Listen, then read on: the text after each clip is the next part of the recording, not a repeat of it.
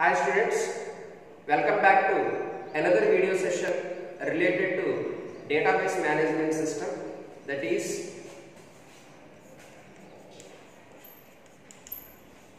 relationship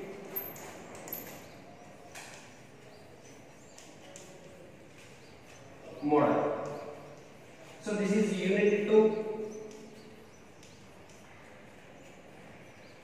So ERM, okay, entity relationship model. In the previous classes, we are already discussed about some fundamental concepts related to the database management system, like what is data, what is information, what is metadata, what is database, what are the objectives of database, what are the structure of DBMS, okay. So what are the fi file system, so that related to the database management system.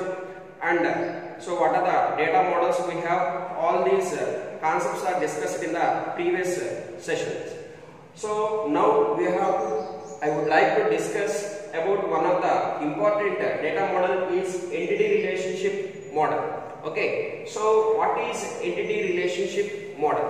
So entity relationship model is a high level conceptual data model diagram. Okay it is a high level conceptual. What is the meaning of conceptual means?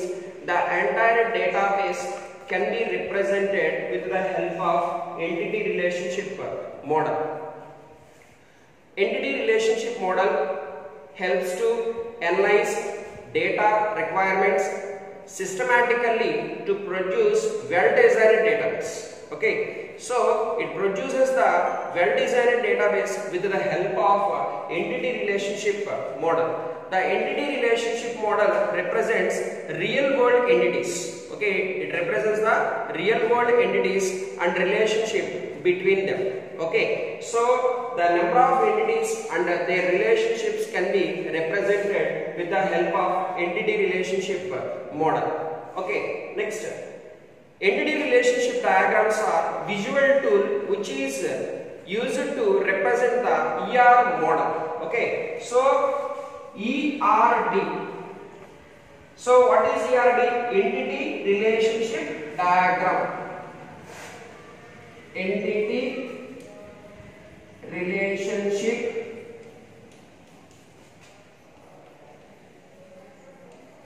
diagram. So the entity relationship diagram can be used used as a visual tool which is used to represent the ER model. Okay, so it is proposed by Peter Chen.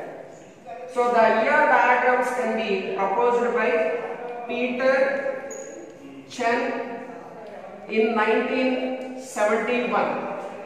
In 1971. So it can be represented to create a uniform convention which can be used for relational database and networks. So the mainly used for relational entity relationship diagram is to, to represent the database. Okay, so the logical database representation can be done with the help of ERD. So the ER diagram displays the number of entities and data stored in the database. Okay, so the ER diagrams can be used to represent the data within the database. And another important one is the ER diagram helps to represent logical structure of the database. So that explains how the number of tables and their relationships are represented internally that can be explained with the help of ERD. Okay, an ER diagram looks like a flowchart. It looks like a flowchart. So it, uh, already you know about flowchart. Flowchart contains a number of symbols. So all these symbols are represented which has some meaning. So in the ER diagrams we have some symbols.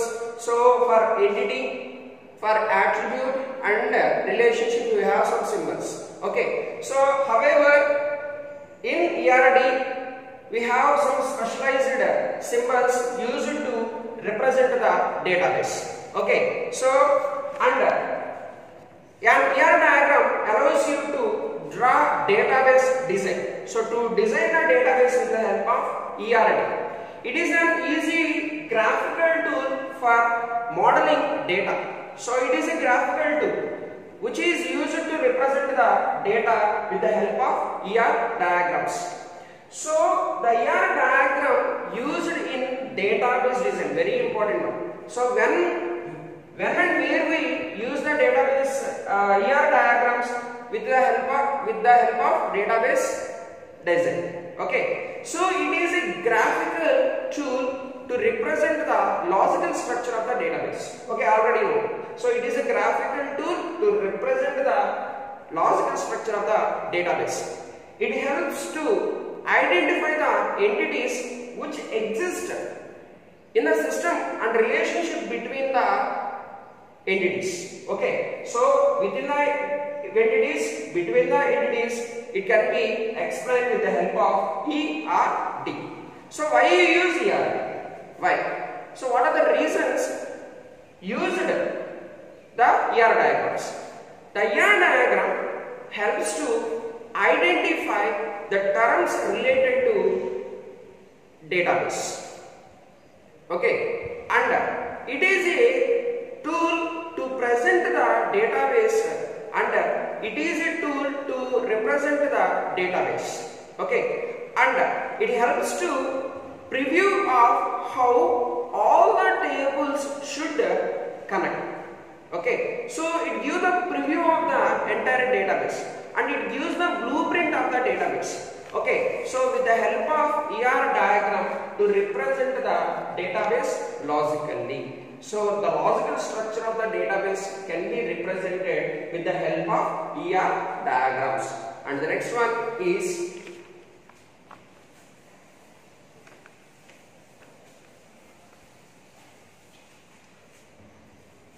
So some symbols used in the ER diagram. Okay, so what are the symbols used in the ER diagram? So one is rectangle, another one is ellipse, next rhombus or diamond symbol. So these symbol represents the entity this symbol represents attribute. This symbol represents relationship. Relationship. Okay. So rectangle is used for defining the entity. So this is for attribute. This is for relationship. Okay. So what are the components of the entity relationship diagrams, the basic building blocks of the ER diagrams. Okay.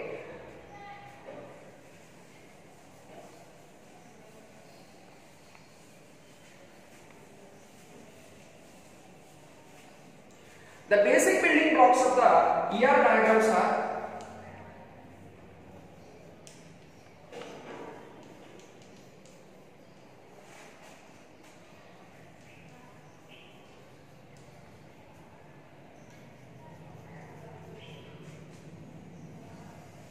The basic building blocks of ER diagrams are one is entity,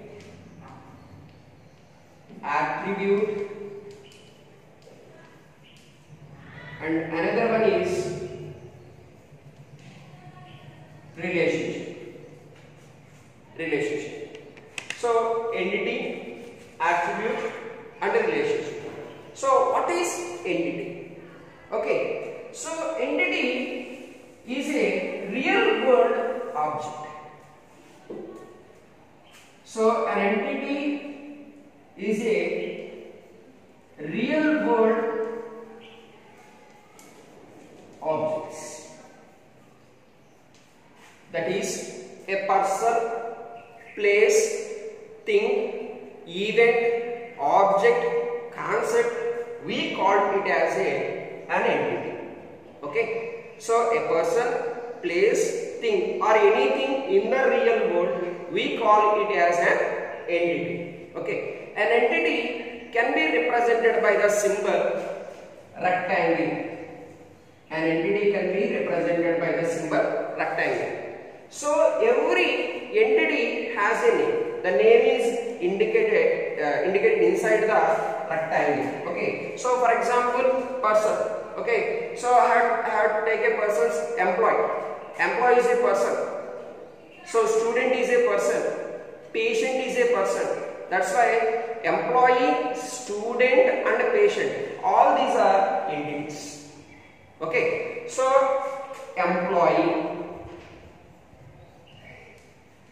employee. So employee is an entity. Okay. Doctor is an entity. Okay. So an entity can be represented by the simple rectangle. So every entity has a name. The name is indicated inside the rectangle. Okay. And next one. So what are the types? What are the uh, what is meant by entity set. Another definition related to entity. What is entity set? An entity set is a group of similar kind of entities. Group of similar kind of entities. For example, when I am taking student entity, it contains the student information. Okay, it contains the student information all the set of students we call it as an entity set. It may contain entities with attributes sharing similar values. It's, it can share the similar values of uh, data. Entities are represented by their properties called attributes. Every entity has some properties. For example, employee. Employee has some properties. Employee ID, what are the properties of the employee? Employee ID, employee name, employee qualification, employee designation. All these are the properties of the employee. And uh, student. Student has some properties. So student uh, roll number or student ID, student name, student address, student marks, student email ID. All these are the properties of the student. We call it as an attributes. Okay all attributes have the separate values. So we are not taking similar values. We are, we are taking separate values. Every attribute has a separate value. So in a student entity having name, age and class.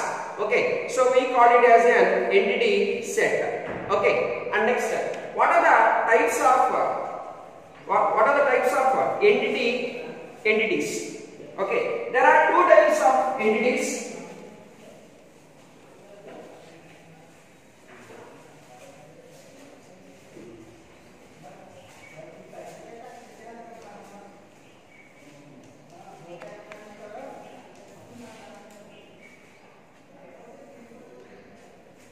What are the types of entities? There are two types of entities. One is strong entity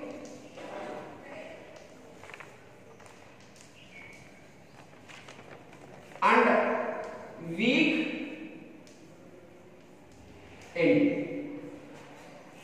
Okay, so strong entity and weak entity. What is strong entity? An entity that does not depend on another entity, we call it as a strong entity. So what is a strong entity? An entity does not depend on another entity. We call it as strong entity. For example, student, and I'm, I'm taking for example, student takes course student takes course. Here, student is a person. Okay, course is an event and it takes. The correcting word is takes. These two are the entities. Okay. I am using symbols student course course. Okay, what is the relationship between these two? This is the relationship uh, relationship symbol. So both are connected. Okay, so takes. This is the here representation. Okay, here representation. Student takes course. Okay, so here here student is the strong entity and course is the weak entity. Weak entity. That means the strong entity can be represented by the symbol rectangle. Weak entity can be represented by the symbol double rectangle. Okay. So strong entity can be represented by the symbol single rectangle. Weak entity can be represented by double rectangle. Why we take course as a weak entity? Okay. So if you run any one of the course, the students may involve in that course. If you if the course if the course having no students, then the course cannot be offered. Okay. So that's why the student is the strong entity here and the course is the weak entity. Okay, strong entity and weak entity. So the student does not depends on another entity. The student does not depends on the course. Okay, and next one. Weak entity. What is weak entity? What is weak entity? An entity that depends on another entity, we call it as weak entity. An entity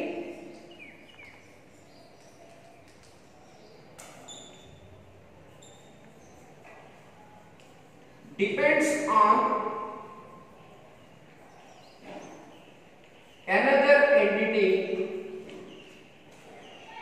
we call it as weak entity okay strong entity means that it does not depend on another entity we call it as a strong entity a weak entity that depends on another entity we call it as weak entity so already we are taking weak entity course here okay so course dep- dep- completely depends on the student okay and next step one more example customer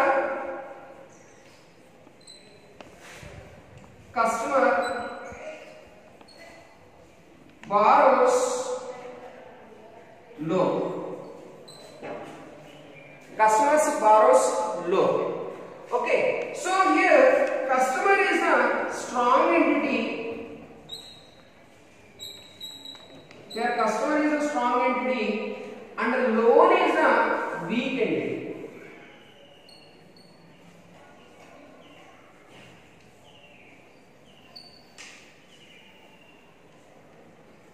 So customer is a strong entity and loan is the weak entity. So the borrows, customer borrows loan. So the if the loan is running compulsorily any one of the customer involved in that loan. So that's why loan is the weak entity and customer is the strong entity. Okay, so there are two types of entities. One is the strong entity and next one is the weak entity.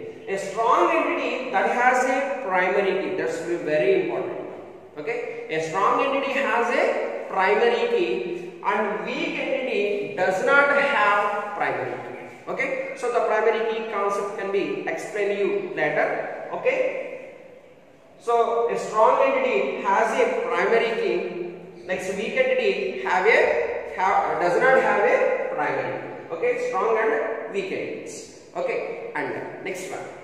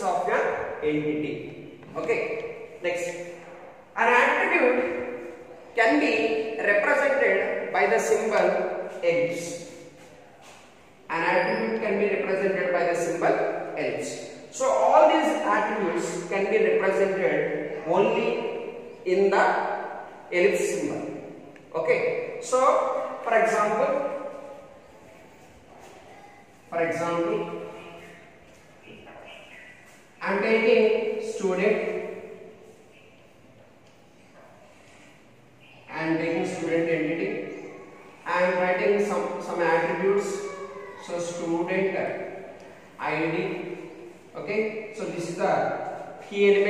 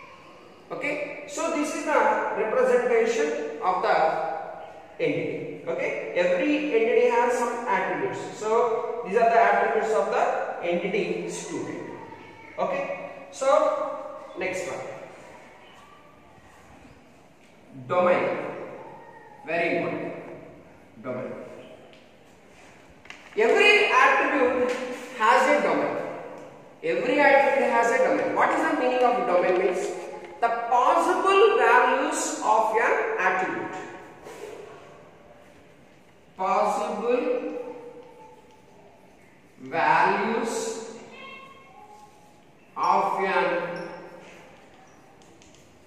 attribute we call it as a domain. Okay? So domain means what? Possible values of an attribute. For example i am taking the attribute gender. Gender. I am taking the attribute gender. Okay? Gender has two possible values. What are they? Male female. Okay? Two possible values we call it as a domain. Okay. So, domain is nothing but the possible values of an atom.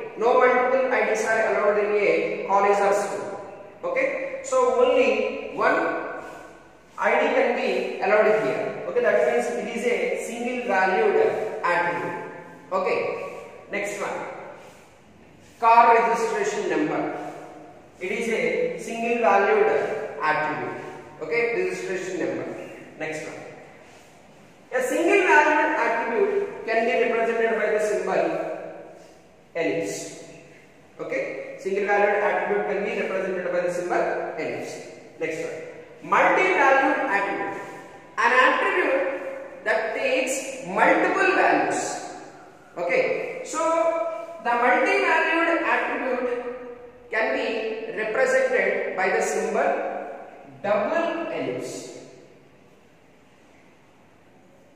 double ellipse symbol. For example, course. Course. So code has number of uh, values. Okay, BSc, BCom, BBA, okay, BZC, MBBS. All these are the courses. It contains multiple values that that we call as multi-valued attribute.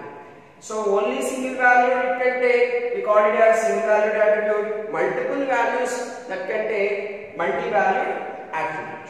Next one. Derived attribute. Derived attribute means if you know the value of one attribute, we have to know the value of another attribute. Okay? So for example, so derived attribute can be represented by dotted ellipse. Okay, dotted ellipse. Single value can be represented by a single ellipse. Multi-valued attribute can be represented by double ellipse and derived attribute can be represented by the symbol dotted ellipse. Okay, so derived attribute, for example, age. If you know the age of a person, first you know the date of birth of that person. Okay, so the age is derived from where? Date of birth. Okay, that's why age is called as derived attribute. Next one. Null attribute. Okay. So null attribute is a special case which is which is used to represent the null values. Okay. So it has some cases okay so where we can apply the null attribute in two cases one is uh, not applicable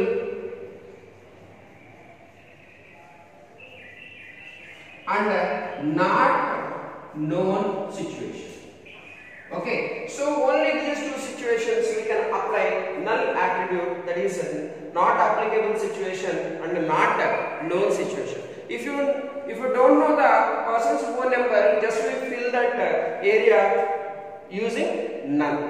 Okay, so no problem. One is not the not applicable situation and another one is the not known situation. Okay, so this is these are all the classified based upon the values. Single valued attribute, multi-valued attribute, derived attribute, and another one is the null attribute. And next one, based upon the structure. Based upon the structure, it can be classified into two types. One is a simple attribute, and next one is a composite attribute. Okay, what is a simple attribute? An attribute that cannot be divided further, we call it as a simple attribute. An attribute that cannot be divided further. Okay, for example, for example, student ID. So the student ID cannot be break into two parts. Okay, we call it as a simple attribute. Next, composite attribute. What is the meaning of composite attribute? An attribute that can be divided further, we call it as a composite attribute. For example, address. Address. An address can be divided in divided number of uh, attributes like door number, street, pin code, city. Okay. So the type of attributes are called composite attributes that can that cannot be divided further. We call it as simple attribute. So the attribute can be classified into two types based upon the value. The values are single valued attribute, multi-valued attribute, derived attribute and null attribute. So based upon the structure, the attributes are classified into simple attribute and next one is the composite attribute. Okay, and next one.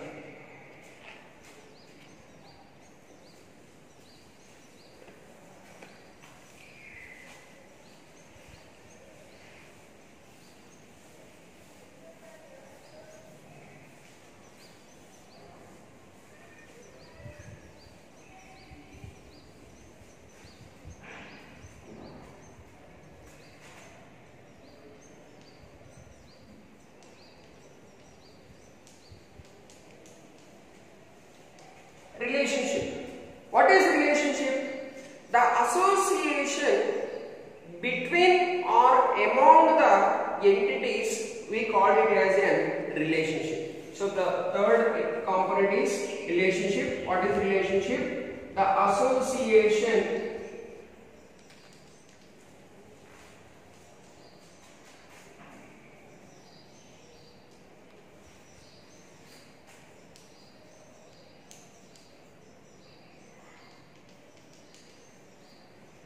between or among the entities we call it as a relationship okay so the relationship can be represented by the symbol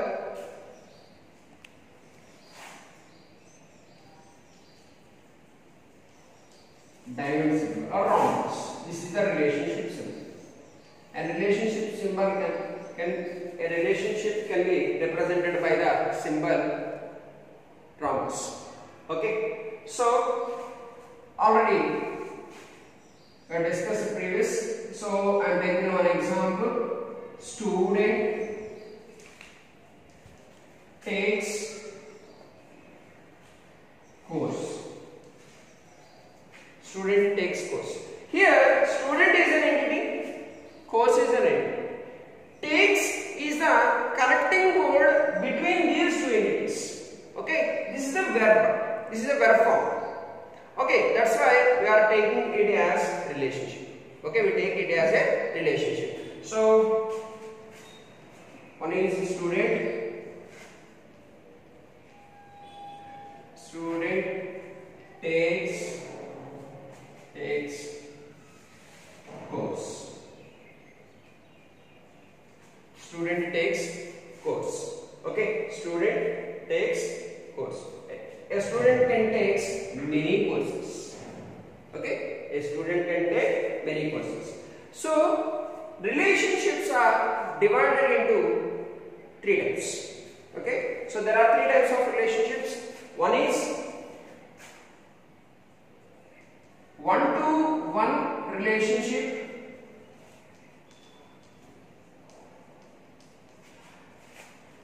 one to many relationship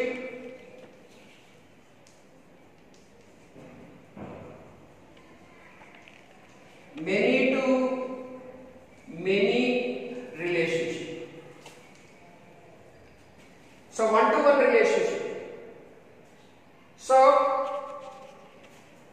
one-to-one relationship? For example,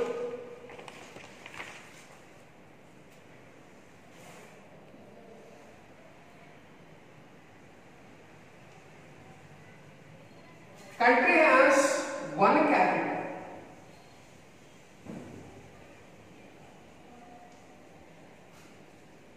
One to one. Every country has only one capital.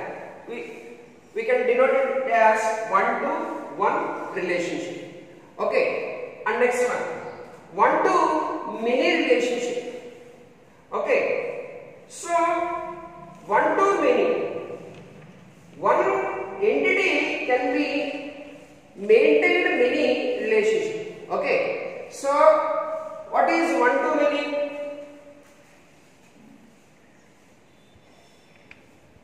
department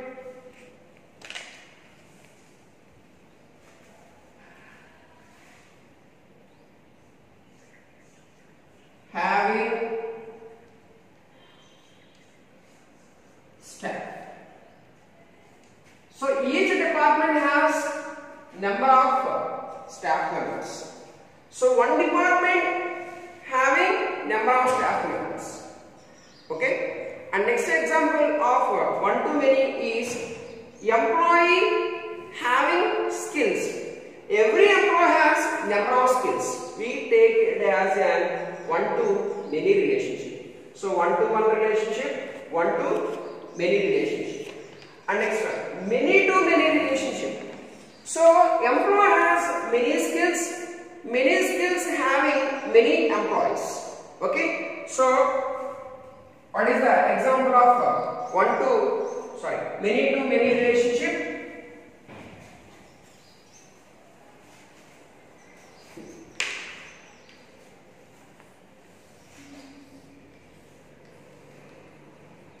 Employee have skills. Okay, employee have skills. Every employee has many skills. Every employee has many skills. Many skills having many employees. So many to many representation.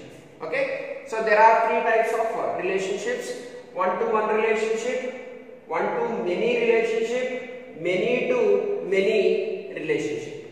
Okay. So we have mainly three types of components to represent the ER diagrams. One is entity, another one is attribute, and another one is uh, relationship. Entity, it is a real world object. That means a person, place, thing, or anything in the real world. We call it as an entity. Entities are two types. What are they? One is strong entity, weak entity. Strong entity can be represented by the single rectangle. Weak entity can be represented by the symbol double rectangle. Okay. Strong entity that it does not depend on another entity, we call it as a strong entity. That it depends on another entity, we call it as weak entity. And next one attribute. What is attribute means? The properties are characteristics of an entity. Every sorry. Attribute. Every attribute has a some domain. What is the meaning of domain? The possible values of an attribute we call it as a domain. So the attributes can be classified into two types. Based upon the value based upon the structure. Based upon the value the attributes can be classified into single valued attribute multi-valued attribute derived attribute and null Based upon the structure, the attribute can be classified into simple attribute and next one is a composite attribute. Next one, relationship. What is relationship means? The association between or among the entities, we call it as a relationship. And relationship can be represented by the symbol diamond or rhombus symbol. Okay? And next one,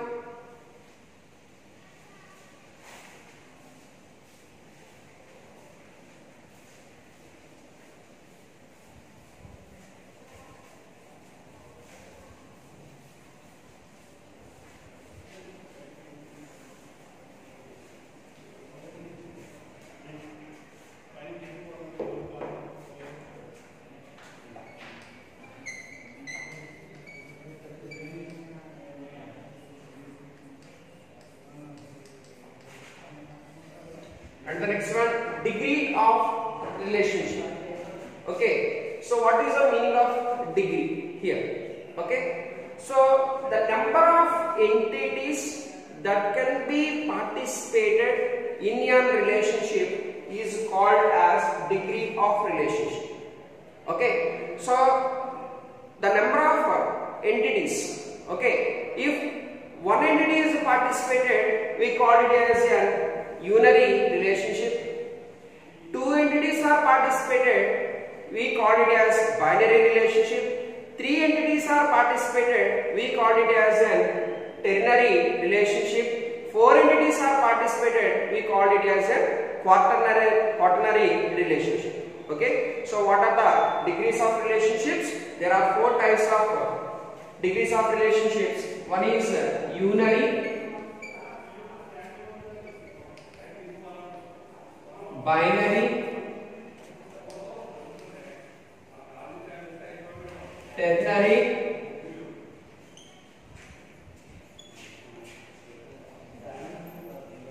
quaternary. Okay, quaternary. So degree of relationship. What is degree of relationship? So the number of entities participated in a relationship we call it as degree of relationship. So unary. Okay. So only one entity is participating.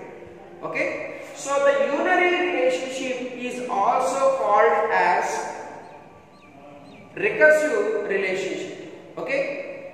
Unary relationship is also known as recursive relationship. That means a relationship itself we call it as an unary relationship. Okay. So unary relationship another name is recursive relationship. Recursive. A relationship itself is called the recursive relationship. For example, person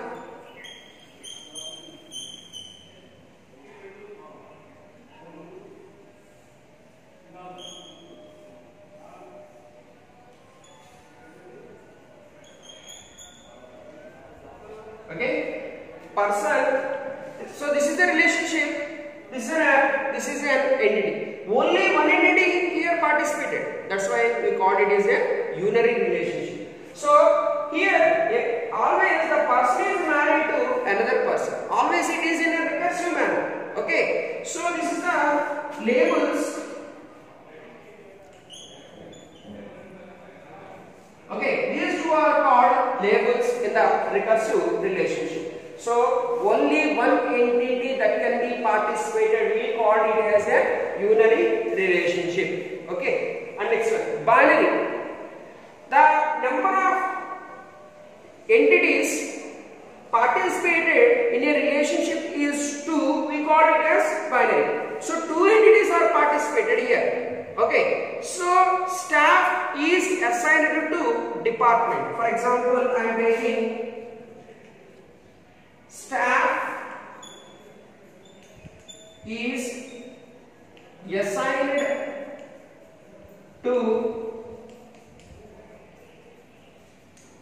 department. So here staff is an entity. Okay, department is an entity. And the connecting code is assigned to. Is assigned. Is assigned. Okay, here two entities are participated in this uh, relationship. Okay, we call it as a binary. Here one entity is participated, we call it as a unary. Here two entities are we call it as a binary relationship. Okay, next one, ternary. So what is ternary relationship? Here, three entities are participated in a relationship, we call it as a ternary relationship. Three entities are participated. For example, for example, employee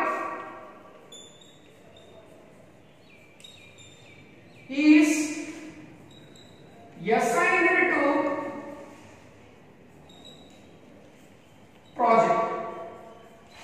Employee is assigned to a project. Here three entities are participating.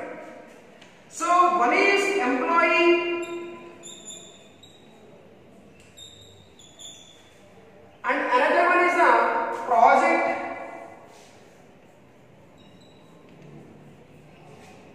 and another one is a location. Of course, location is not presented in this example, but the employee project can be assigned to more than one project. Okay, the employee is assigned to more than one project, different different locations. Okay, so employee is assigned is assigned